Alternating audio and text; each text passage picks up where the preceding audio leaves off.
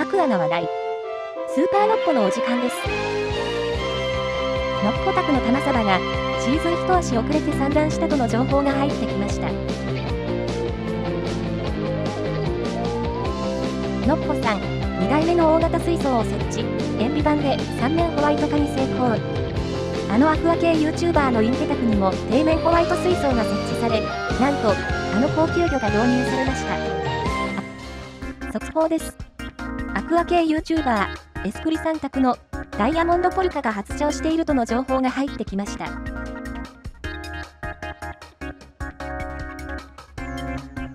メスがオスに噛まれ、ボロボロになり、交尾前兆かと思われます。うまくいけば、交尾するかもしれない。と、飼育者のエスクリさんは、期待を胸に見守っているそうです。その後が気になる方は、概要欄 URL からエスクリチャンネルで確認してみてください。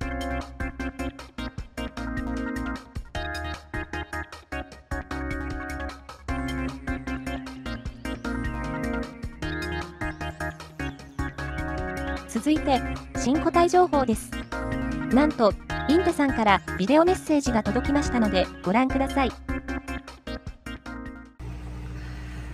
はい、えー、アクアメーカーをご覧の皆さん、おはようございます。インテです。えっ、ー、と、インテの方ではね、今、こういう風に白水槽を準備して、で、生態をね、お迎えをするというね、動画があるんですけども、なんとなんとなんとなんと、じゃじゃじゃじゃーん 見にくいね 見にくいけど、ダイヤモンドポルカをね、えー、お迎えしました。ペアですね。おという感じで、えっ、ー、と、ダイヤモンドポルカのね、導入もインテの方で上がりますので、ぜひぜひそちらもご覧ください。インテさんの新個体導入動画は日曜日に配信予定です。皆様、お見逃しのないよう、要チェックです。続きまして、本格的金魚シーズン到来。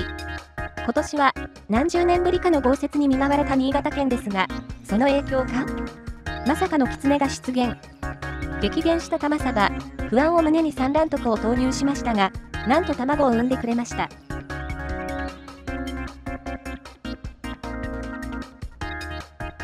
今年はどんな玉サバになるか楽しみですね。のっぽ宅に純白に輝く中古水槽が設置されました。1mm の塩ビ板で3面をホワイト化、コーナーカバーは 3mm のアクリル板で作り、得意のエナメルラッカーでホワイト化を実現いたしました。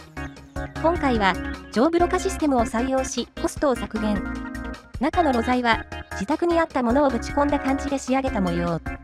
なお、この水槽に導入される個体情報は入ってきておりませんが、噂では、すげえのが入るらしいのでお楽しみに。ということでした。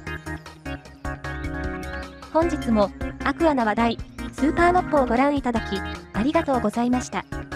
この番組は、ご覧の提供でお送りいたしました。